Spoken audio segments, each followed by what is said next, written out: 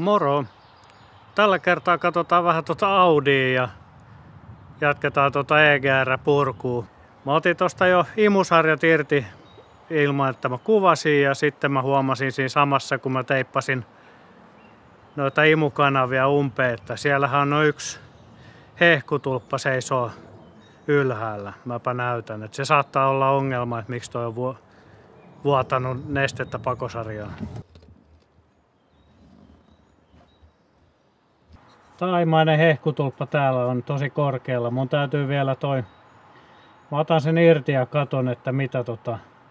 Miltä se näyttää. Mulla oli tää... Tää ei ole irti ja se näytti ihan hyvältä, mutta katsotaan miltä tää näyttää. Että jos se on ihan palasina, niin sitten mä voin viedä tämän laitteen paaliin suoraan. Joo, se on käytetyissä autossa aina vähän riskinsä. Se, että jos tää on tää hehku ihan romuna, niin ainakin se on kova kiinni. On tosi kova kiinni. On niin kova kiinni, että ei lähde mun voimilla. Toi lähti toi eka tosi hyvin. Saisiko isommalla työkalulla? Joo, jos kansi on rikki tosiaan, niin se selittää se jäähdytysnesteen määrä pakokaasuissa ja voi voi. Sitten ollaan ilman autoa, jos tää on, tää on sen näköinen, mitä mä luulen.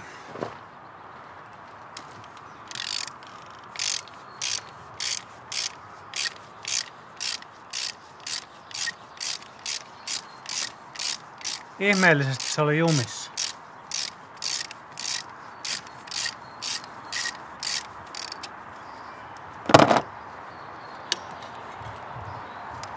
Niinpä tietenkin.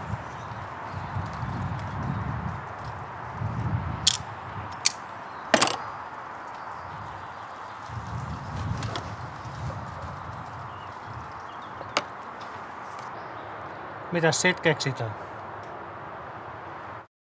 Laitoin tonne vastakierre tapinkin reikää, se puree niin kovaa kiinni, että mun jatkovarret katkee. Et on se poraamiseen menee, jos haluaa tän koneen kuntoon. Ainakin tässä on ollut kaksi ongelmaa. Kyllä mä varmaan joudun poraamaan ton hehkun pois tuolta reijästä. EGR-kuulerissa on ihan selkeä vuotopaikka ja katsotaan nyt tuleeko tästä koneesta mitä, ei kyllä huvittaisi. Nyt on kuulkaa sellainen juttu, että motivaatio on aika nolla tuossa ropaa tota verkon painoa. Mä luulen kyllä, että täytyy katsoa, katsoa tuossa kesän jälkeen, jos löytyisi joku vähän parempi ehdokas. Ei kyllä riitä motivaatio kaivaa jotain tulppaa tuolta kannesta, kun sitten ei tiedä, että saako siihen uuden tulpan sitten, kun toi oli niin korkealla.